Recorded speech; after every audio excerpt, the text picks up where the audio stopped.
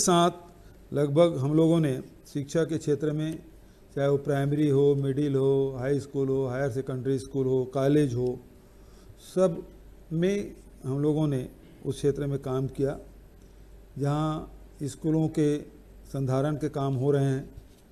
वहीं भर्तियों के भी लगातार काम चले हैं। तीस हज़ार से अधिक शिक्षक भर्ती हुई। कॉलेज में ग्यारह सौ बावन सहायक प्राध्यापक, चालीस ग्रंथपाल और उनतालीस क्रीड़ा अधिकारियों की नियुक्ति की गई है।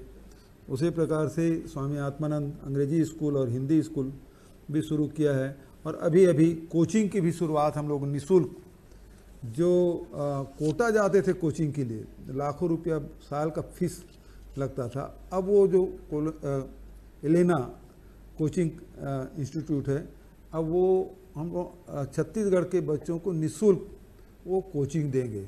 इसके लिए हम लोग एक- हमारे 146 ब्लॉक है। तो 146 ब्लॉक में उसके कोचिंग देने की व्यवस्था और साथ ही चूँकि वो वर्चुअल होगा, इसलिए वहाँ टीचर भी नियुक्त किए हैं ताकि आपको कोई मन में प्रश्न आता है तो उसको भी वो बता सके, उसके लिए अलग से व्यवस्था की गई है। और साथ में शहरों में भी, अभी चार शहर में किए तो कुल मिला के जो ब्लॉक है, उसमें कोचिंग की शुरुआत हो चुकी है। जो लोग जेई के या नीट के तैयारी करना चाहते हैं उन छात्र छात्राओं को निःशुल्क इसकी पढ़ाई कोचिंग दी जाएगी।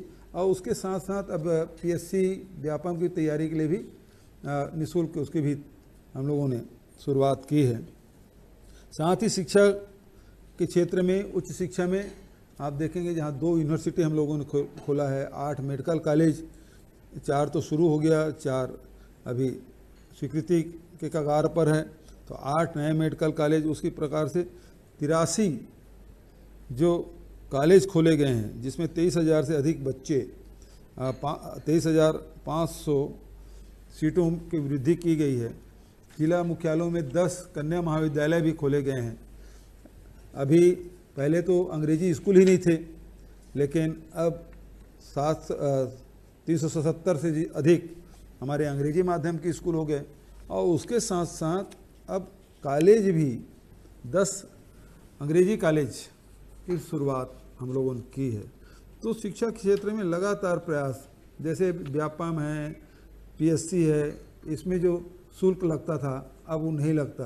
तो जो परीक्षार्थी लगभग तैंतीस करोड़ रुपए को उनका बचत हुआ है। अभी जिस प्रकार से जो परिवहन है, उसमें सौ करोड़ से अधिक की राशि, उसकी बचत आप लोगों को होगी। और एक बात मैं इसमें कहना चाहूँगा कि पहले विभाग के द्वारा इस योजना का नाम मुख्यमंत्री सुगम महाविद्यालय योजना रखा गया था। जिससे इस योजना के बारे में स्पष्ट नहीं हो पा रहा था। इसलिए इस योजना का नाम छत्तीसगढ़ युवा मितान परिवहन योजना। परिवहन शब्द आने से ये हो जाएगा कि ये छात्र छात्राओं के लिए है, क्योंकि युवा मितान परिवहन योजना इस योजना का नाम दिया गया है। आ, मैं समझता हूँ। विभाग भी इससे सहमत होगा।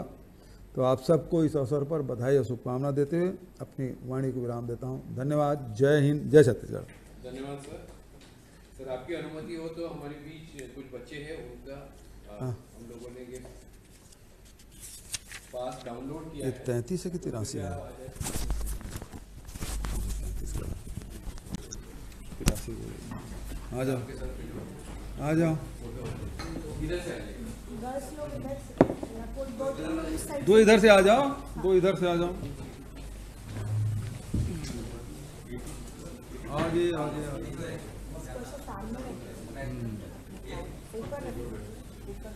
ये इतना बड़ा तो नहीं होगा ना?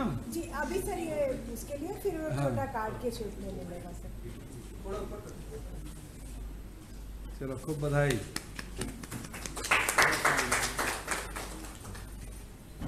क्या नाम है? साक्षी साक्षी कहाँ की रहने वाली? गिरगांव साथी है है अच्छा और आप ईशुदान बिरगांव से आप?